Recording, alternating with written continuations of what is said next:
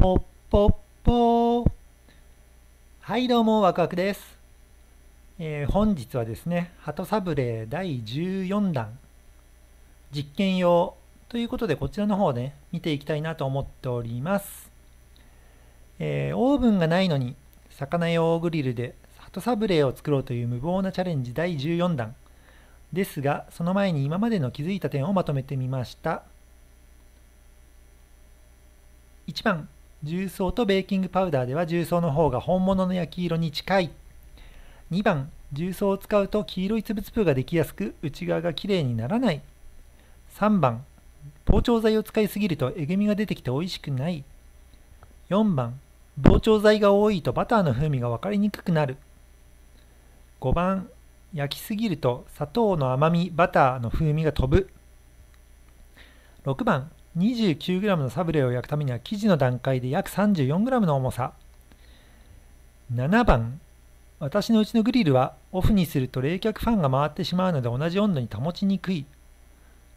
8番今のところ味を近づけるには、えー、下の配合だけどカロリーが本物より多い。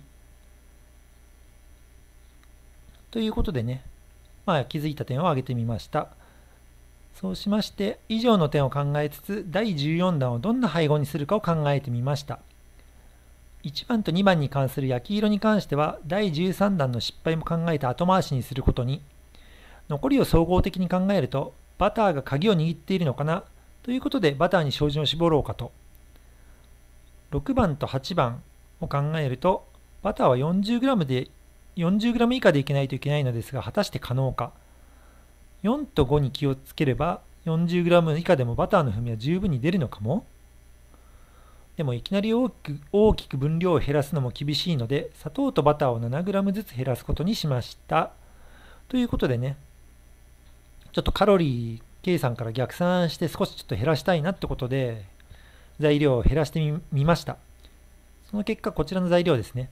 薄力粉が 100g 砂糖は 50g 無塩バターが 43g で、全卵液、まあ、全卵ですね。で、21g。で、これ、えー、ベーキングパウダーが 2.5g。で、今回確かめたいのは、バターの風味と砂糖の甘み。まあ、他の部分は無視ですと。まあ、焼き加減とかね、ちょっと無視していこうっていうふうに考えた通りに、まあ、ちょっと、ここの、今回確かめたいのはバターと、バターの風味と砂糖の甘みってことで、この2点ですね。ここを、まあ、重点的に見ていきたいなと思っております。焼き上がったのがこちら。はい、まあ、上があれですね、私が作ったので、下が本物になりますかね。で、まあ、こちらは焼き上げたものですかね。結構いい感じで焼き上がってますね。焼き上がり関係ないって言ってたんですけど、見た目はなんか良さそうです。えー、砂糖に関しては 50g でも十分に甘みが出ます出てますね。今まで 50g 以下の割合で挑戦した第1弾、第2弾、第8弾はいずれも焼きすぎでしたので、45g くらいまでは減らせるかも？そうですね、この焼き色がちょうどいい感じだと、この 50g ぐらいでも砂糖の甘みを感じることはできます。はい。で、バターに関しては 43g では風味が足りません。グリルに原因があるのかな？高温冷却を繰り返しているのがいけないのか？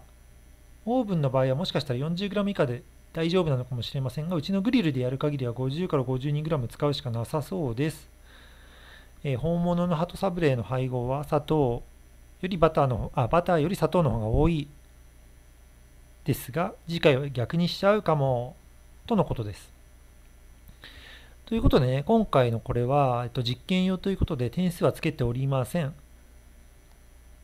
で、まあちょっとカロリーを気にしてやった結果ですね、カロリー、まあ、豊島屋さんの公表のカロリーから逆算して、グラム数をちょっと計算した結果なんで、まあ、このような、ちょっとまあ、砂糖の割合は一応かん、うん、感じることはできるけど、バターがちょっと足りないと。